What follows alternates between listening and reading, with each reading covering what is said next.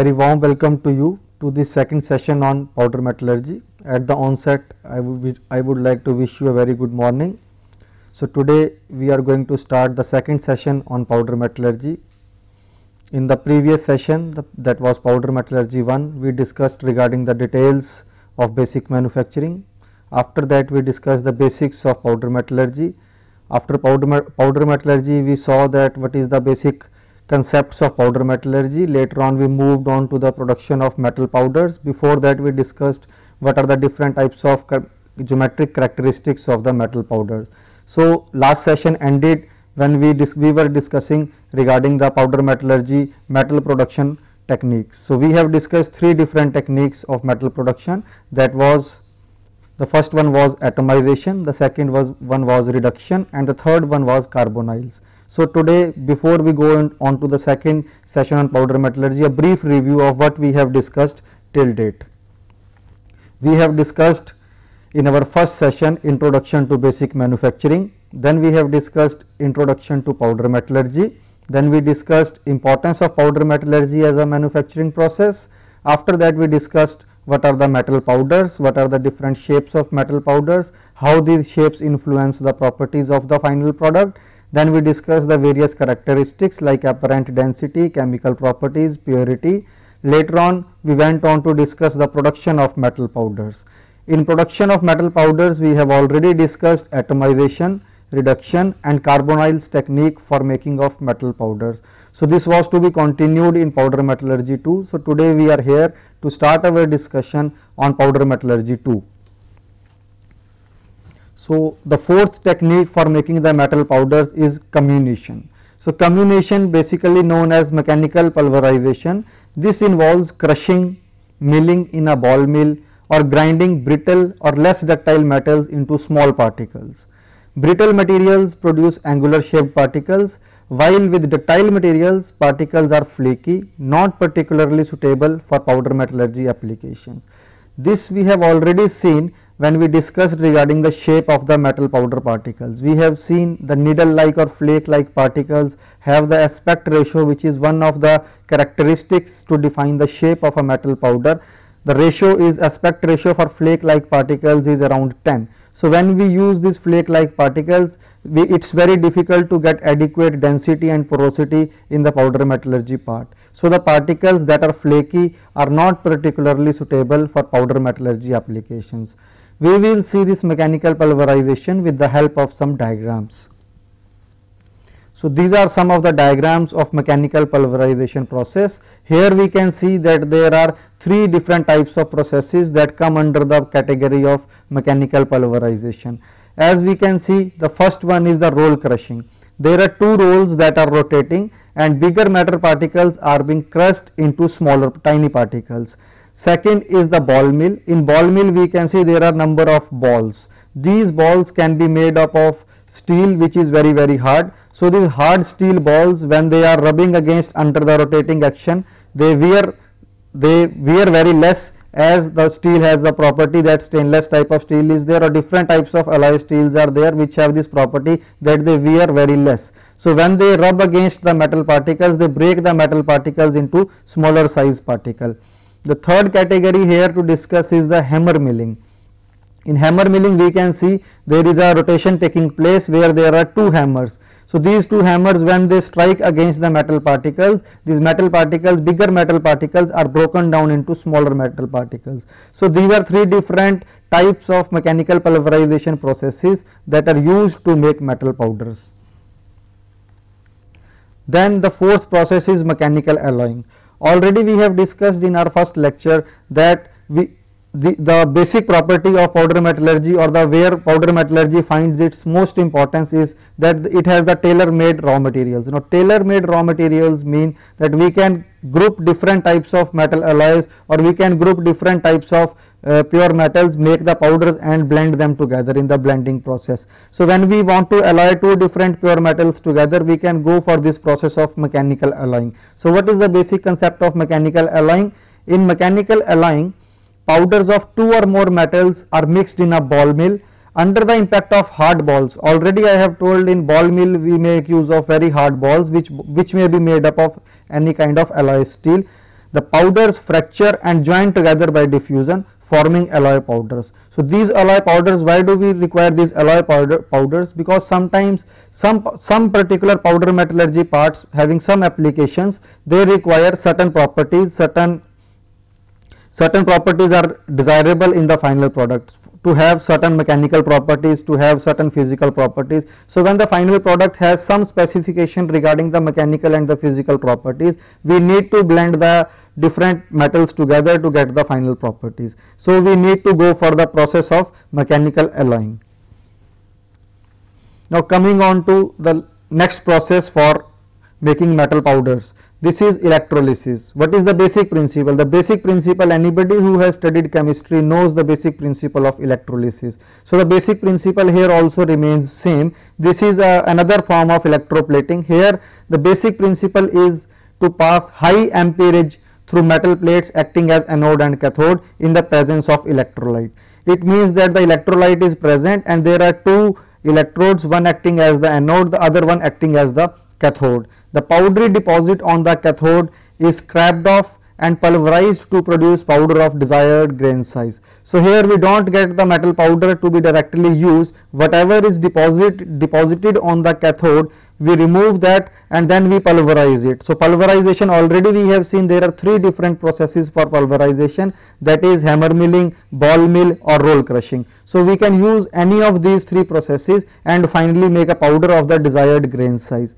So, till now just to summarize the three different processes for metal powder pro production, we have seen that we can make metal powder either by mechanical pulverization or we can make it by electrolysis or we can make it by any of the processes that we have discussed in the first lecture.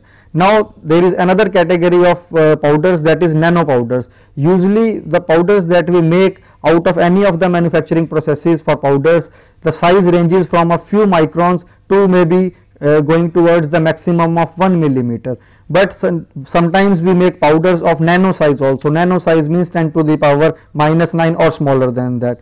Then these nano powders of copper, aluminium, iron, titanium and various other metals are pyrophoric. Pyrophoric means they ignite spontaneously or are readily contaminated when exposed to air. They are shipped as thick slurries under hexane gas. So, these nano powders although there is no limitation on the size of the powder that we make using any of the metal production techniques, but if we make powder of a very small size then these kind of problems of contamination or pyrophoric ignite spontaneously type of problems may come into picture. Now, these are certain shapes that are made by uh, using any of the manufacturing process for metal powders like the first one is the one dimensional acicular type of shape is made by chemical decomposition.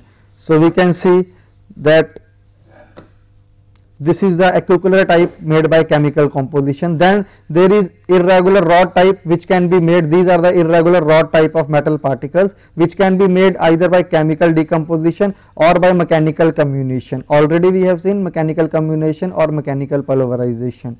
Then two dimensional type of particles can be made by mechanical comminution. This is flake. These are different types of flake like particles. These can be made by mechanical comminution or there are dendrite dendritic type of particles these can be made by electrolytic process. Now dendrites if we see if we study casting and we see the solidification phenomenon of casting process then this dendrite formation takes place during the solidification of different metals. So these are different kinds of dendrites that are formed in metal powder production also these are some of the two dimensional shapes produced when we make use of electrolysis as one of the manufacturing process for making powders.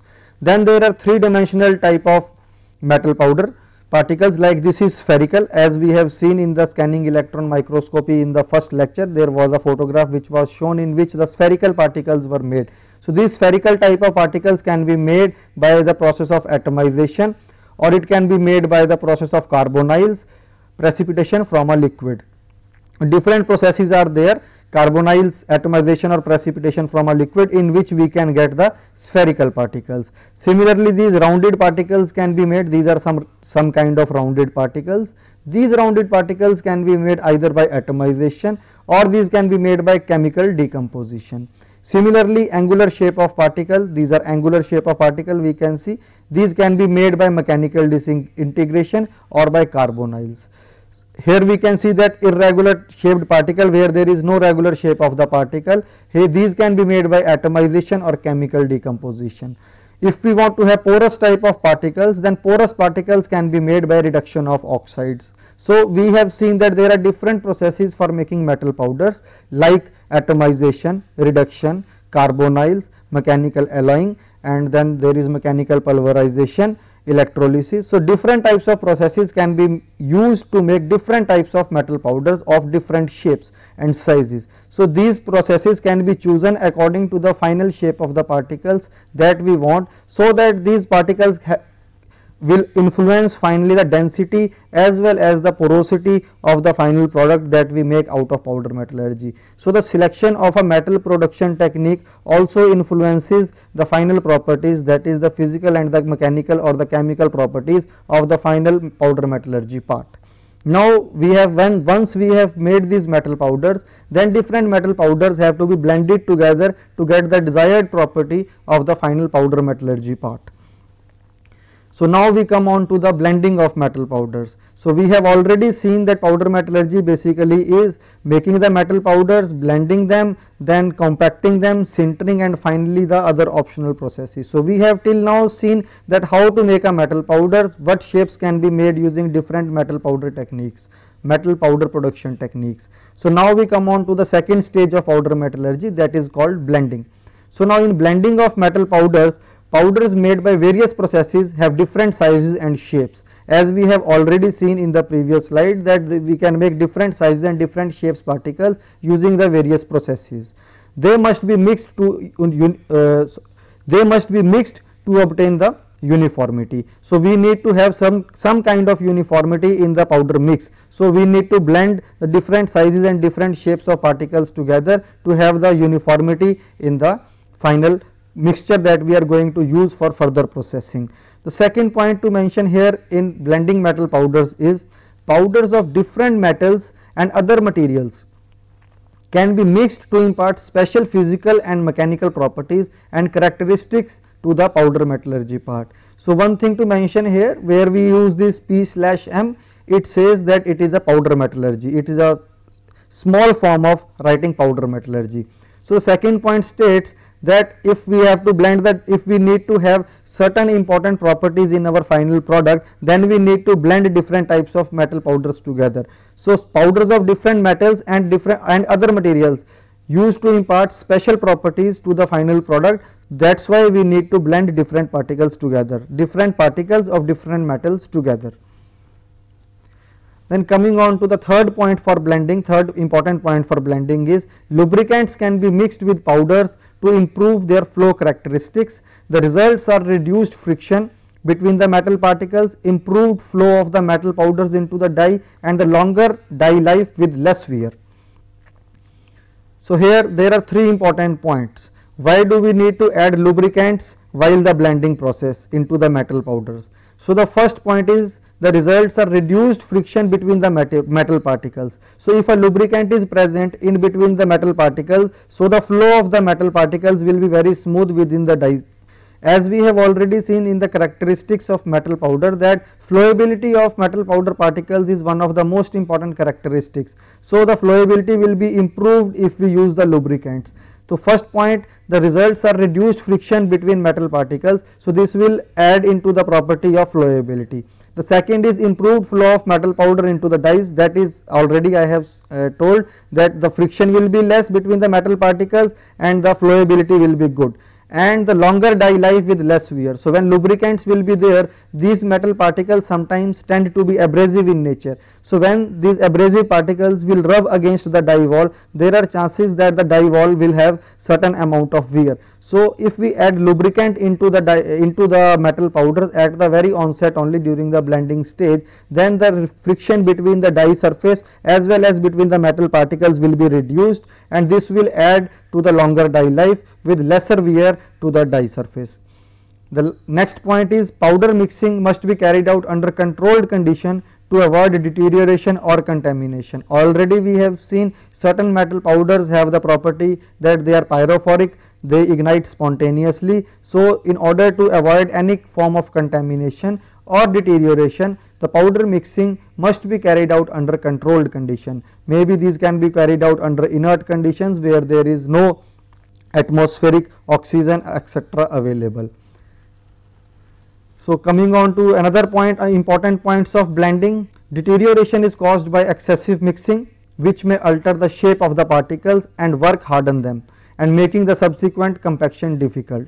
So, work hardening may take place of the metal powders because of the uh, rubbing which is more as, as desirable. So, deterioration is caused by excessive mixing which may alter the shape of the particles. So, shape of the particles may also be altered. Now, while designing a powder metallurgy part we feel that this is the shape of the particles we should use so that we get the desired property of the final product. We select a manufacturing process for a powder depending upon the shape that we require shape of the particles that we require in the final product but during the blending if we go for excessive mixing the shape of the particle will change and if the shape of the particle will change then the final properties that are desired in the final powder metallurgy part or the powder metallurgy product will not be there. So, deterioration is caused by excessive mixing which should be avoided. The next point to be considered in blending stage is that powders can be mixed in air in inert atmosphere to avoid oxidation or in liquids which act as lubricants and make the mix more uniform. So, the mixing of the powders can take place in air, it can take place in inert atmosphere or it can take place in liquids. So, already we in the blending uh, section only we have discussed that we need to add certain lubricants to improve the die life as well as to improve the flowability characteristics of metal powder. So, these can be mixed in the presence of a lubricant which can later on in the presence of a liquid which can later on act as a lubricant during the compaction and the sintering process. So, now already to summarize we have seen that why blending is required and what are the important points to be taken care of while we blend the different metal powders together. Now, we come, come on to the hazards with the metal powder. So, metal powders already told that it is they ignite spontaneously sometimes. So, these are some of the hazards which have to be avoided. So, what are the points to be taken care of while we discuss the hazards of the metal powder? The first point to be considered here is that the surface area to volume ratio for metal powders makes them very explosive. The high surface area to volume ratio that is the surface area is more and the volume is less. This results into uh, sometimes explosion and sometimes some kind of deterioration of the metal powder. So, this has to be avoided. So, some of the metals which are which have these kind of characteristics are aluminum, magnesium, titanium, zirconium and thorium. So, these particular metals are particularly explosive because of the high surface area to volume ratio. So, great care must be exercised both during blending and in storage and handling. So, it is not that we make a metal powder of a very metal particles of very small size and then we use those metal particles as it is. We have to store them very carefully and we have to handle them particularly uh, having a lot of uh, giving lot of emphasis on their pyrophoric characteristics. So, they should not explode and cause certain damage to the human life or to the equipment. So, precautions what we need to take precautions include preventing sparks there should be no sparks. Wherever we are storing or we are handling our metal powders no sparks should be allowed in that area. Then open flames etc should not be allowed. And chemical reactions should not be allowed. So we have seen that metal powders once they are made they are having certain advantages but the limitation is that there are certain hazards also associated with the metal powders which have to be avoided now, we come on to the powder metallurgy process. So, already till now we have seen that we can make metal powders using different processes and there are certain hazards related to the metal powders. Before that we have seen that metal powders of different metals need to be blended together to give the final mechanical as well as the physical properties to the powder metallurgy part. The powder metallurgy process and overview. The powder metallurgy process normally consists of 4 basic steps. So, 4 basic steps already in the first lecture we have seen just to point out uh, once again these 4 basic steps for powder metallurgy process are producing a fine metallic powder, mixing and preparing the powder for use, pressing the powder into desired shape, heating that is sintering the shape at an elevated temperature. So, till now we have seen that how to produce a fine metallic powder, some of the processes we have discussed with the help of certain diagrams we have seen how metal powders can be made. Mixing and preparing the powder for use already it has been discussed why blending is required, what are the important points to be taken care of while blending a metal powder. The third point is pressing the powder into desired shape, this is also called compaction which will be seen now. Another point in the process or the design cycle or the production cycle of a powder metallurgy part are heating and sintering the shape at an elevated temperature. So, we these two important points we are going to discuss in detail in the coming session. Now, other processes are required for special results. Other processes already in the diagram we have shown and we have seen that other processes are like infiltration, impregnation, machining, coining, sizing. So, all those processes will be discussed in the present session. Now, this is the very we can say a very detailed diagram of the process of powder metallurgy. So, we can see with the help of the arrows just first of all I will uh, talk about the important steps in the process of powder metallurgy and then we will discuss each step as we go into the further session. So, the first point is metal powders, second point the metal powders once we have made the metal powders then we blend the metal powders together in the blending we add certain additives, these additives can be lubricants. After the blending has been completed, there are two ways we can make a final product. Either we can go for cold, cold compaction process or we can go for hot compaction process. After cold compaction we go for sintering and after hot compaction directly we go for secondary operations. So, basically the important steps included here are metal powders, blending, cold compaction, hot compaction, sintering and the secondary operations. Now coming on to the further sub classification, metal powders can be made using atomization, reduction, electrolytic deposition, carbonyls, comminution and mechanical alloying. All these processes we have already discussed. When we make the metal powders then we blend them together, add lubricants, why they are required already we have seen now, cold compaction can be done using simple pressing, isostatic pressing, rolling, extrusion, injection molding.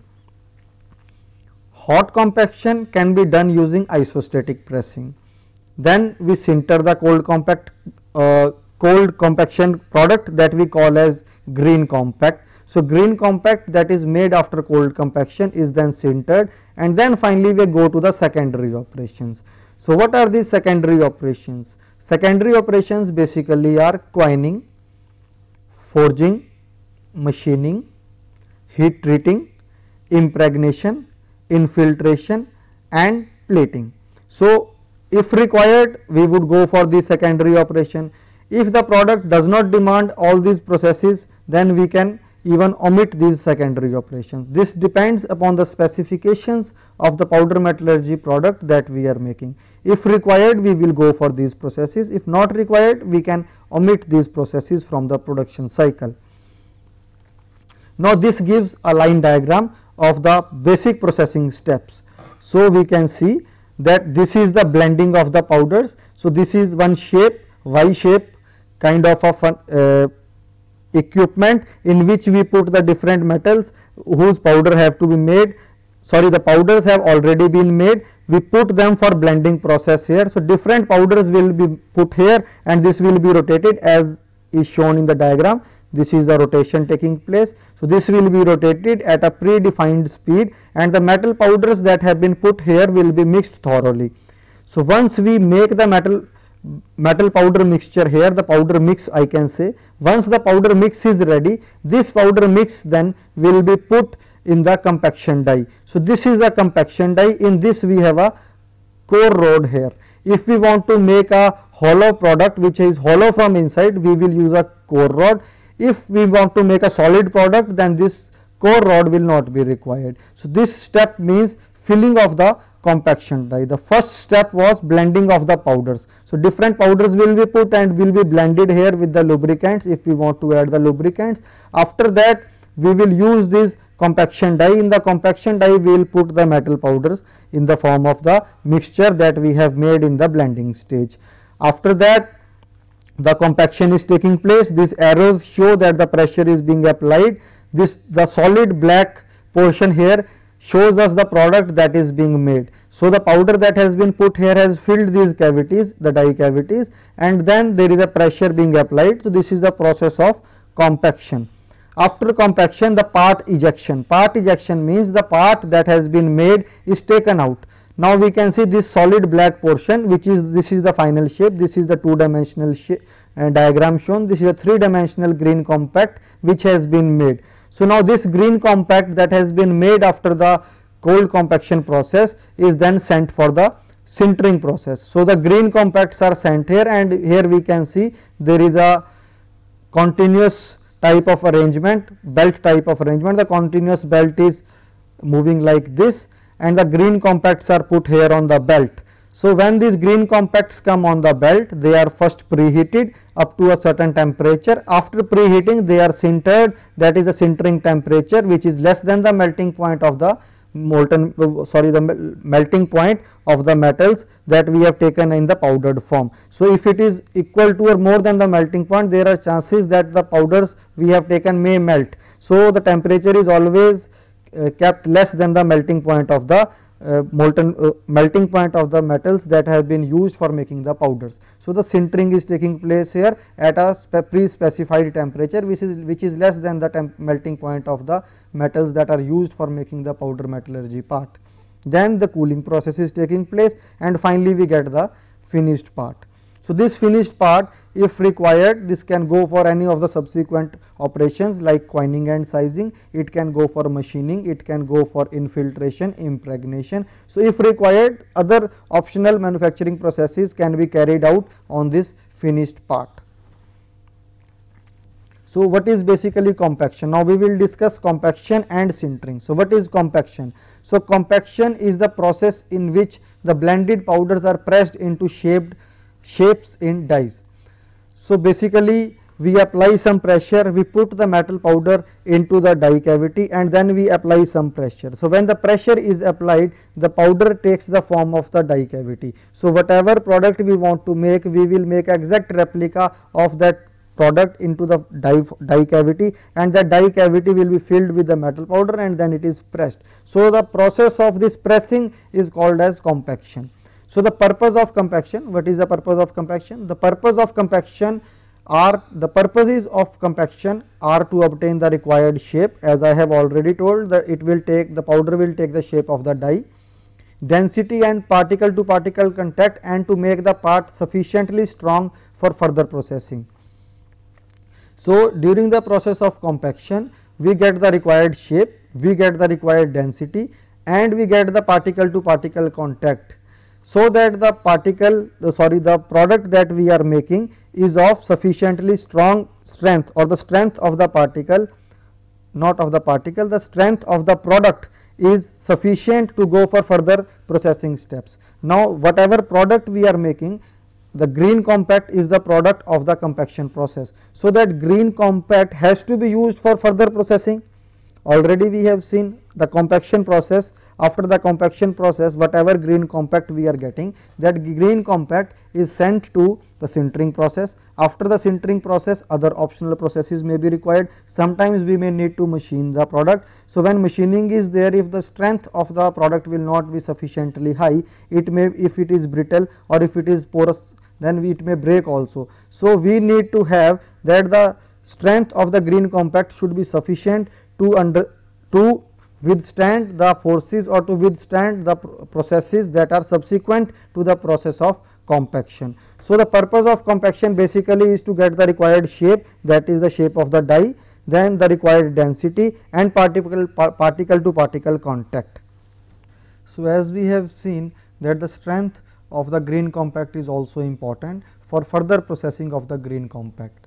So, now the third point to be considered in compaction is an increase in the compaction pressure increases the density of the pressed powder or the green compact. So, if we increase the compaction pressure the density or the pressed product or green compact will improve. So, increasing the compaction pressure will increase the density of the pressed powder or of the green compact. So, we need to have adequate density of the green compact. So, density as well as porosity these are the two important properties of the powder metallurgy part. So, increasing the compaction pressure will increase the density of the powdered compact. Then the size distribution of the particle also affects the density of the compact. Already I have told this has been discussed in the previous class also if we put the tennis balls of same size into a box then there will be some porosity inside and the density will be depending upon the shape of the balls as well as the pores that are present in the box after filling the balls. So, the size distribution of the particles also affects the density. So, if we, all the balls are of same size the density will be comparatively less, but if the there is a distribution of the size of the particles then the larger particles will take certain space and the smaller particles will fit into the interstices or the voids that have been created in between the bigger particles. So, they will fit into the smaller voids and the density will be improved. So, the size distribution of the particles also affect the density of the compact. So, now this is a very basic diagram just to show the what are the typical set of powder metallurgy tools. This is a very primitive type of diagram, very simple diagram to explain the students what are the various type of basic powder metallurgy tools. So, you can see here there is a upper punch shown here, this is the upper punch, there is a lower punch, it is of different color you can see.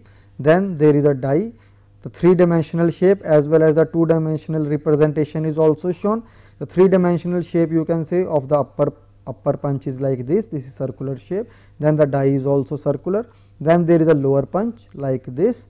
And then there is a core rod which is shown here. So, solid black portion gives the powder metallurgy part. So, all these parts typical set of powder metallurgy tools when they will be used in conjunction then we will be able to make a part that is this solid black portion. This kind of part can be made use of using this typical set of powder metallurgy tool. How it will be done? What are the various steps involved that we will see in the subsequent slide. So, here we can see this is a delivery of the metal powder. So, this metal powder will be delivered here. So, this metal powder in the first step is the delivery of the metal powder upper punch and lower punch are in a withdrawn position. Then when the metal powder has been supplied here these two punches will exert certain pressure and this is the process of compaction where we are applying pressure on the metal powder to give it the shape of the die. So, the die is there within the die there is a shape there is a core rod the core rod is being used because we want to make a hollow product. If we want to make a solid product in which we do not need any kind of cavity or any kind of hole then this core rod will not be required. Then this is the third process the third step sorry which is the ejection. In ejection this is at a withdrawn position upper portion of the upper punch and then the lower punch will push the part up. So, this is the part which is later on removed like this. So, this is this is a cyclic process first of all it is the metal powder is delivered here after the metal powder delivery it is compacted it is ejected and then it is moved to the next chamber next process and the delivery is again there for the metal powder. So, basically metal powder is delivered here and here and before the in between there are these two steps of compaction and ejection. So, this is the powder metallurgy compaction cycle. So, whatever we have seen in this diagram we will just summarize it in the form of simple English sentences. So, we can see powder metallurgy compaction cycle. The first point is with the upper punch in the withdrawn position the empty die cavity is filled with the metal powder. So, upper punch in the withdrawn position the die cavity is filled with the metal powder. The metal powder in the die is pressed by the simultaneous movement of upper and lower punches. So, this is simultaneous movement of upper and lower punch and the metal powder is being compacted inside the die. Now, when the metal powder has been compacted inside the die that is the step 2, then we go on to the step 3. So, what is basically step 3? The upper punch is withdrawn and the green compact is ejected from the die by the lower punch. Now, step 3 we can see the upper punch is withdrawn and the green compact this black portion or the product that we are making is withdrawn with the help of the lower punch. The green compact is pushed out of the pressing area so that the next operating cycle can start. So, now whatever green compact we have made here after the pressing as well as after the ejection is pushed into the next next station or the next stage so that we are ready for the next process or the next cycle. So, as we have seen this is for the delivery of powder mix here the again we will supply the powder mix here and this powder mix or the blended powder then will be compacted and after compaction it will be ejected. So, this is the basic powder metallurgy compaction cycle. So, this compaction cycle is almost the same for all powder metallurgy part. There may be some variation depending upon the change in the shape of the die depending upon the way in which we press the powdered mix to make a green compact, but the basic process for making a powder metallurgy green compact or a final powder metallurgy product will be same. This compaction cycle the basic steps will be same. Now, this is another diagram to explain how we can make a powder metallurgy part. So, here also there are 1, 2 and 3, 3 stages. As we can see in the first stage there is a die, this is the die, this light grey portion. Then there is the punch that is here this is the feed stock or the feed shoe from here we are going to feed the metal powder. So, this is basically the metal powder of which we want to make the final product. The shape that we are going to get will depend upon the shape of the die. So, here we can see that there is a cylindrical type of shape that we want to make. So, the die is of a cylindrical shape. Here there is a lower punch, this is a lower punch and this is a feed shoe. So, the feed shoe is going to supply the metal powder. So, once the metal powder has been supplied in the first stage, then we go on to the second stage. In second stage we can see there is a lower punch, there is a upper punch, there is a die and then these two are as we can see with the help of arrows, these two are pressing the metal powder which has been supplied here into the green compact. After the pressing has been done, there is a process of ejection. In ejection, the lower upper punch has been withdrawn. The lower punch then pushes the green compact outside. Here it is written compact. So, this is the green compact that has been made. So, basically to summarize there are three stages of forming First one is the filling, the filling of the metal powder. The second one is the pressing, the pressing of the metal powder or the powder mix between the upper and the lower punches. And the third one is the ejection in which the green compact is finally ejected out of the dies. So, this is another uh, diagram which seems to be very complicated, but it is not that complicated. This also shows the very basic process of making a green compact. So, this is the shape suppose we want to make we make a die we put the metal powder this is the loose metal powder which has later on been smoothened like this there is a upper punch there is a lower punch and then the upper and lower punch will press against each other and in between this black portion is the metal powder which has been pressed together and later on this black portion has been ejected. So, three diagrams have been shown to illustrate the process of compaction there is a lower punch, upper punch, feed of the metal powder or the powder mix and then this powder mix is then formed into a form of a green compact which is later on ejected with the help of a lower punch. So, there may be sometimes problem in cold compaction. What are these problems? We will here discuss only one basic problem. The basic problem arises here. This is the powder mix which is being pressed. This is the punch which is pressing it. This is the die walls or we can say this is the die. So, we can see that this particular portion upper portion has more density as compared to the lower portion. We can see the darker portion we can assume that the darker portion here will have more density as compared to the lower portion because we are applying the pressure from this side only. So, the density variation is there. So, when we will use this product some portion will have more density as compared to the other portion. In some of the applications this density variation or the density gradient within the product may not be required. So, when this density gradient is not required we need to have uniform density throughout the product throughout the bulk of the product then this problem has to be avoided somehow. So, how it will be avoided we can have two counteracting punches like this and here we can see that there are two dark portions on the top as well as towards the bottom also and there is a floating type of a die two counteracting punches and a floating type of die here we can see there are spring type of arrangement. So, this, this problem that arises because of the single acting punch can be avoided by using double acting or counteracting punches with the movable die. So, whatever we have seen here we will simply see it in the form of a very simple English text. So, the problem in cold compaction already discussed in the previous slide. The effectiveness of pressing with a single acting punch is limited wall friction opposes compaction. So, the wall friction will also oppose the compaction process. Then the pressure tapers off rapidly and density diminishes away from the punch as already I have shown the density is very good towards the uh, periphery of the punch or very close to the punch the density is very good, but at a distance the density is comparatively less.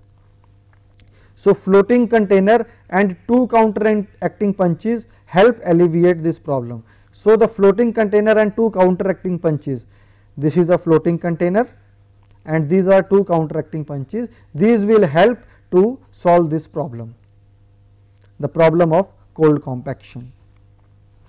Now, there is another way in which we can counteract these problems these are by isostatic pressing. So, isostatic pressing can also be carried out either in cold conditions or it can be carried out in hot conditions. So, what is basically cold isostatic pressing this we will also see with the help of a diagram what is cold isostatic pressing uh, sorry cold isostatic pressing which is also called CIP. So, what is CIP? The metal powder is placed in a flexible rubber mold. The assembly is then pressurized hydrostatically in a chamber usually by water. The pressure range is from 400 to 1000 megapascal. Normally we have seen in compaction there is a die punch type of arrangement. The upper punch and the lower punch press the metal powder and a green compact is made, but it has certain limitations which are overcome by the isostatic pressing. So, what is the basic principle of isostatic pressing? The metal powder is placed in a flexible rubber mold, the assembly is then pressed hydrostatically usually by water. The pressure range typical is given as 400 to 1000 megapascal. Now, coming on to hot isostatic pressing what is hot isostatic pressing? Already we have seen cold isostatic pressing. Isostatic pressing means that we are pressing the compact from all the sides. In hot isostatic pressing or HIP, in HIP process the pressurizing medium is an inert gas or a glass like fluid. The common conditions for HIP are 100 megapascal at 1100 degree centigrade although there is a trend towards higher pressures and temperature. As we have seen in cold isostatic pressing, we are pressurizing with hydrostatically in a chamber usually by water. In hot isostatic pressing, we are pressurizing with the help of an inert gas or a glass like fluid. The common conditions for hot isostatic pressing are 100 megapascal at 1100 degree centigrade. So, the major advantage of hot isostatic pressing is its ability to produce compacts having almost 100 percent density good metallurgical bonding and good mechanical properties. So, although we can use make use of process of die and punch type of arrangement, but still isostatic pressing has its own advantages. The advantages in terms of good density that is that can go up to the tune of 100 percent, then it has good metallurgical bonding of the particles and good mechanical properties.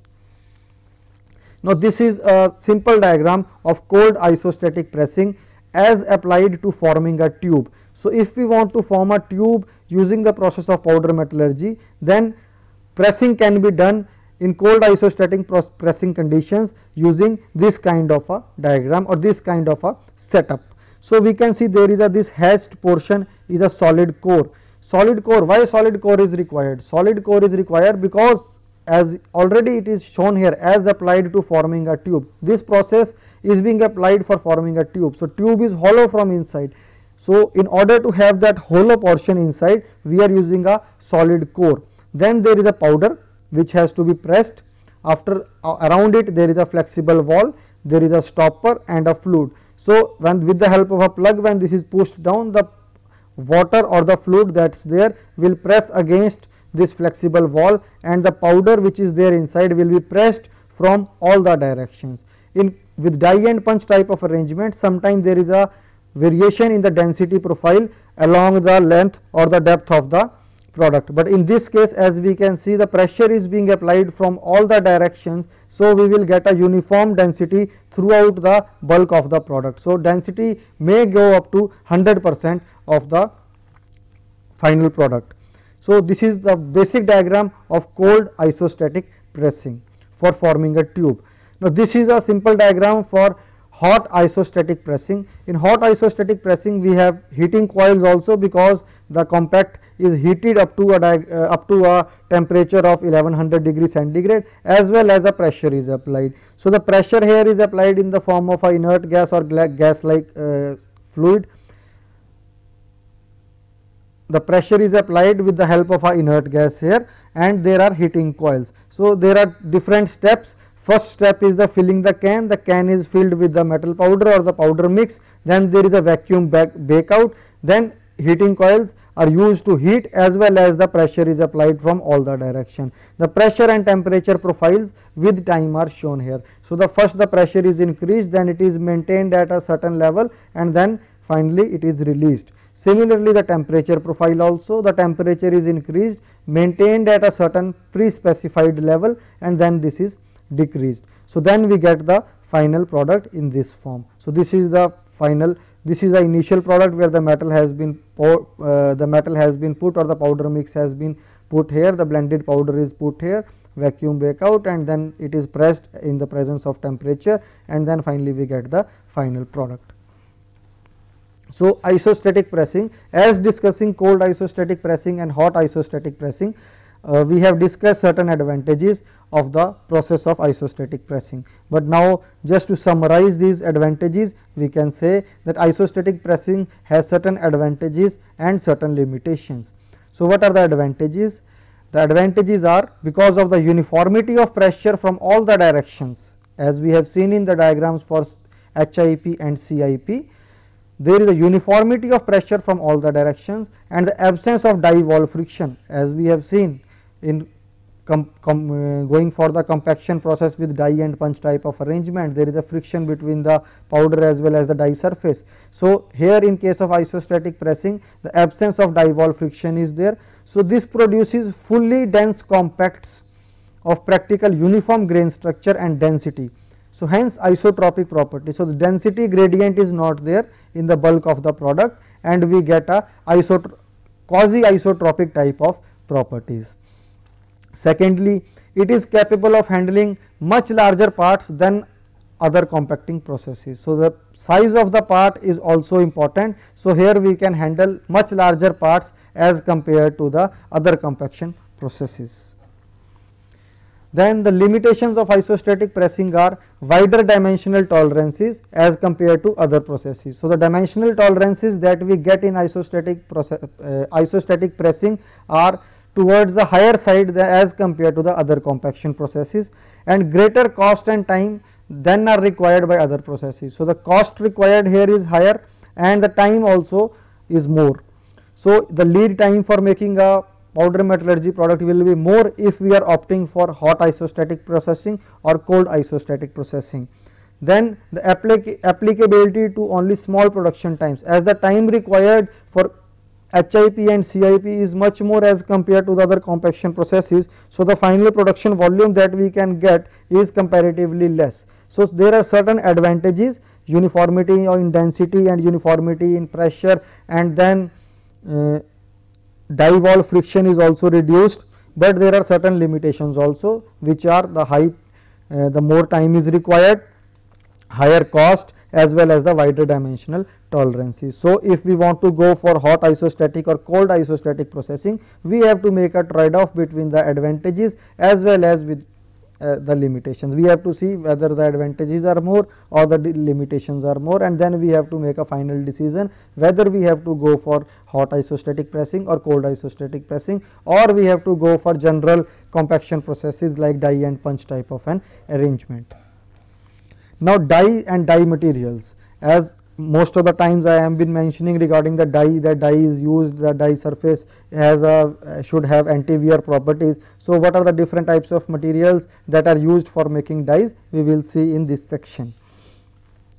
So, die and die materials. So, powder metallurgy involves high pressures already we have seen the compact has to be pressed. There is a considerable wear on the die walls. Powder particles tend to be somewhat abrasive. So, powder particles that are we are that we are using sometimes they have flake like shapes sometimes they have irregular shapes. So, they sometimes tend to be abrasive in nature. So, these abrasive metal particles sometimes may abrade the die surface. So, the, that has to be avoided. The dies are made up, up of hardened tool steel. So, tool steels are used to make the dies because of their anti-wear characteristics. For abrasive powders and high volume work, cemented carbide dies are employed. So, already in the previous slide we have seen tool steels can be used. Last point, the dies are made up of the dies are made up of hardened tool steel. So, we can make dies of hardened tool steel also and for abrasive powders and high volume production we can go for cemented carbide dies. The dies must be very heavy in order to withstand the high pressing pressures which adds materially to the die cost. So, die cost is considerably high because the size of the die should be big moreover the material of the die should be ha should have the anti wear characteristics. So, these two important points lead to the lead towards the high cost of the die, but the high cost of the die can be spread over a large number of parts that we are producing over a period of time. So, if we the die is costly initially, but if it is used for making a large number of parts then the total cost of the die is spread over the cost of making all those parts. So, today we come to the end of the second session on powder metallurgy that is powder metallurgy 2. To briefly summarize what we have discussed today, we started with our discussion on production of metal powders. We have seen today two processes for making metal powders. The first one was mechanical pulverization, the second one was electrolysis. Then we started our discussion on the basic process of powder metallurgy going step by step by step. We have seen that metal powders are made, blended, then compacted, sintered and finally other optional processes are used. So, today we started our discussion on compaction. We have seen die punch type of arrangements can be used for compacting the metal powders and there can be isostatic pressing. In isostatic pressing we saw that we can go for either hot isostatic processing or cold isostatic processing. The advantages and limitations of both hot as well as cold isostatic pressing were discussed briefly. Then we went on to discuss that the importance of the die materials, the importance of die material as well as the anti-wear characteristics and the cost of the dies was discussed briefly. Next lecture we will discuss regarding the sintering aspects of the powder metallurgy process and the design and economic aspects of the powder metallurgy parts. Thank you.